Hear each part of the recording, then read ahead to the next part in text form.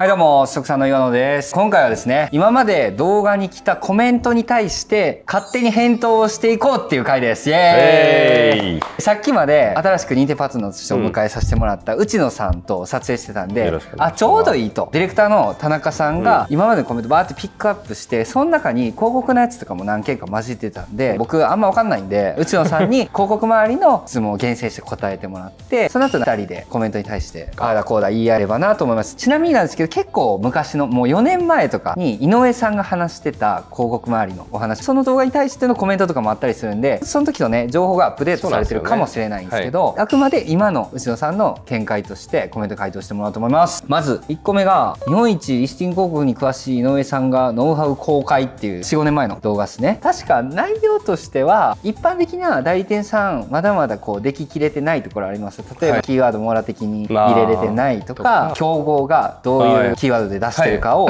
有料ツールで見れてないよみたいな内容を喋ってたんですけどもそれに対してその中の1トピックですけども数千万単位のアカウントで部分一致を使わずに予算使い切れるのっていう質問があああります。この時は部分一致をそんなに使うなみたいなそうですね。時代だったんですよね、に、はい、その前提を踏まえてどうですか？今で言うと。今で言うと、今までの部分一致って類似ワードだったりとか似たような言葉をとにかく無作為に広げるみたいな要素があったと、しっかりとそのサイトに関連性があるかとかユーザーが検索しているワードで CV に近いものかどうかとかそういったところをしっかり Google は分析して導入するようになったのが部分一致と。当時はやっぱ完全一致フレーズ一致っていうのは王道と言われていてアカウントの構成も細かく分けていくのが王道だったんですけど今となってはそのアカウントの構成もよりシンプルに部分一致をいかに活用してしっかりとコンバージョンを取っていくかというところが重要になっているのでちょっと当時とは状況が違うなとは思っています。なるほどです。ちょっとダイレクトな回答じゃないので当時の時代を踏まえていくと指名ワードだったりとか業界によって異なっちゃいます。大手の業界とか指名ワードだけでも100枚以上余裕で履けますみたいな会社だったら全然成立します。漢字一致もフレーズ一致も、ただすごいニッチな産業だったりとかこの会社どこみたいなとこだとどうしても履けないケースはあるな。その場合部分一致使うべきかなというのが当時の回答。今の回答は部分一致入れてないアカウントはそもそもありえないっていう回答になってしまうなというふうに感じています、なるほどです。これも45年前ぐらいの動画なんですけどファインドキャンペーンってやつが2つコメント来てました。ファインドキャンペーン効果いいんか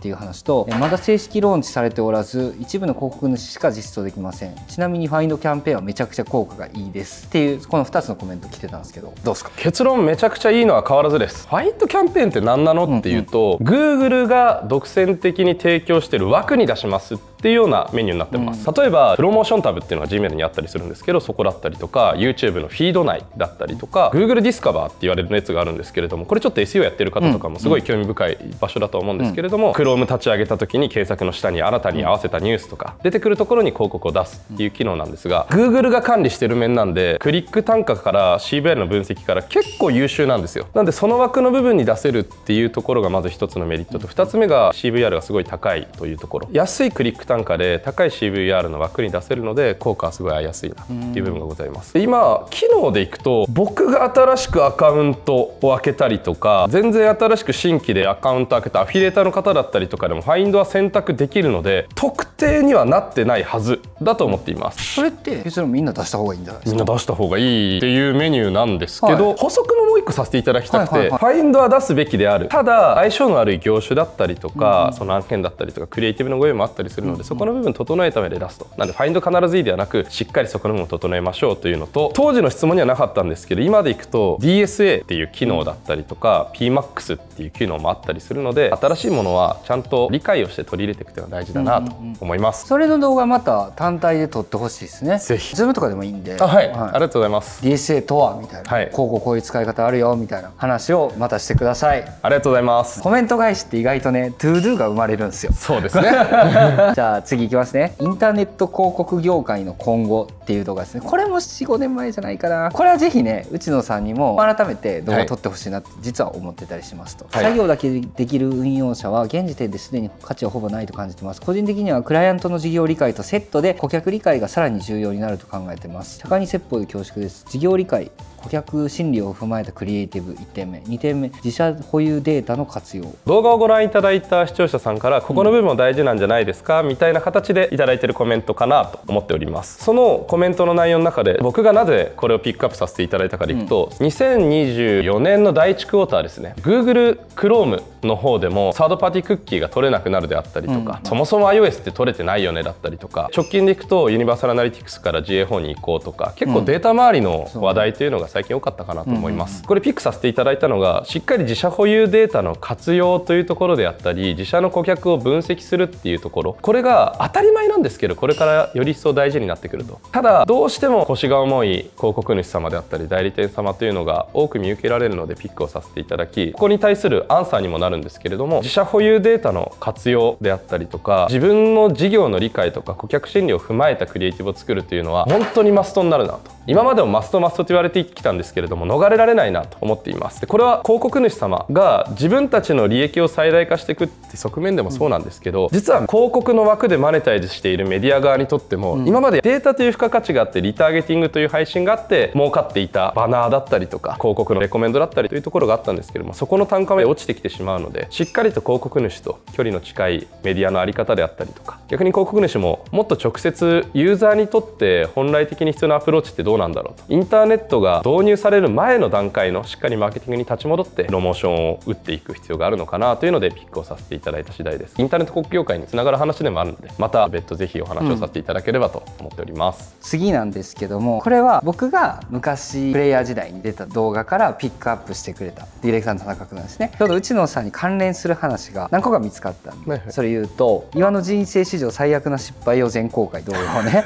これも4年前ぐらい出してて、はい、その時に語った失敗のうちの一つに僕はもともとサイト制作の会社の役員やってました、はい、めっちゃペーペーやった時にお客さんに LP を納品しましたと。プラス広告運用目的の LP やったんですけど広告運用が回り始めた時にすでにサーバーがエラーになってて見れないと。クリックしても404とか501とかなんかその503とかそんな感じ。最悪ですね。そう。になってて、はい、でもその時広告と合わせ技でのサイト制作の納品って初めてやったんでもう頭真っ白になって僕が取った選択としてはとにかくすぐにお客さんに電話して「申し訳ございませんでした」っつって回ってた分少額だったんですけど「補填します」っつって電話してその結果そのお客さんからも「いいよ」と信頼をしてもらってちなみに今でも続いてますと。めっちゃ勉強させてもらったクライアントですっていう話をしましたと。でそれに対して、はい、代理店の人から来てます。代理店側の人はそれが判明しましたってなった時に、はい、どうやら代理店側からするとどうか整合性がつく言い訳をしてくれっていうふう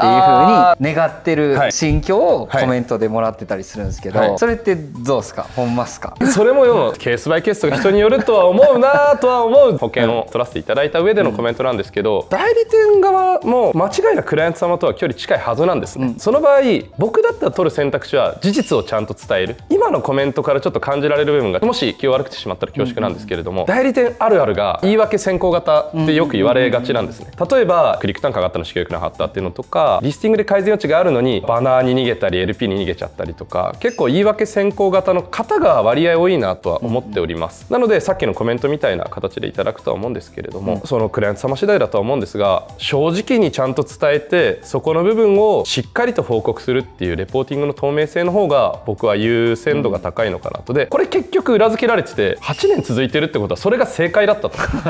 俺は正解だったよね、はい、それで切られるお客さんももちろんいらっしゃるとは思うんですけれどもその時に自分が恥ずかしくないような対応をしっかりできればいいなというのは代理店を14年かやってる僕が正解だなと思う対応かなと感じてます。OK です。じゃあ関連性が高いやつからで言うと知らなきゃ損 LP やホームページを作りたい企業様へっていう僕は多分初めてぐらい出した YouTube 動画じゃないかな、はい、それで僕もずっと自分が使っててあこれ使えるなって思った資料って基本的に配ってたんですよ。どうせ使えないし。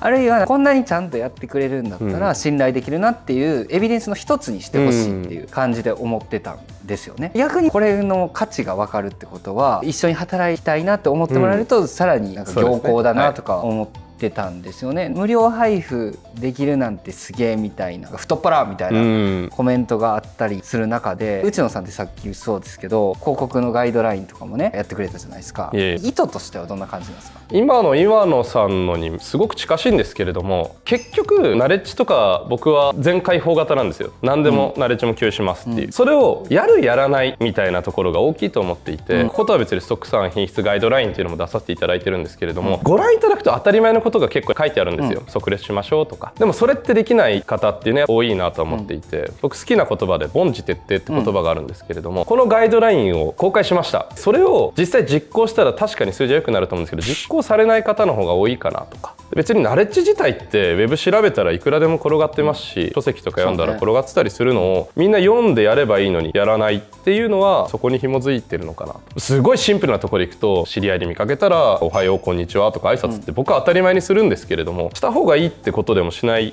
方とか苦手な方とかもちろんいるんですけどしない方とかもいたりするのでそこの部分の本当にやるやらないの差分かなとは思ってます。だから別に公開するの何にも怖くないし当たり前だなってそれができるのであれば僕はむしろ嬉しいっちゃ嬉しいですし、うん、でそれが難しいとかできないとかそれを踏まえた上でお願いしたいって言っていただけるのであればそれは本当にありがたいなと思います。実際そうなんですけど公開してないシチュエーションに合わせたその場での判断とか対応っていう方が圧倒的に価値高いと思ってるんですよ、はい、だから別に見られてもいいやみたいなのは、うん、みんなありますよね。ノウハウ公開型の人は、はい、だから信用できるなみたいなのも働いてるんじゃないかなでも一方で注意してほしいのは珠玉の名作を作ってそれ以外ねえみたいなケースはなくはないかなと思うのでそれはちょっと頑張って注意してくださいって感じですかね。最後いきますねこれはめっちゃ僕も聞きたいなと思ってるんですけど、発注したくない制作ディレクターの特徴参戦ってなんか僕、煽り系のやつ多いな。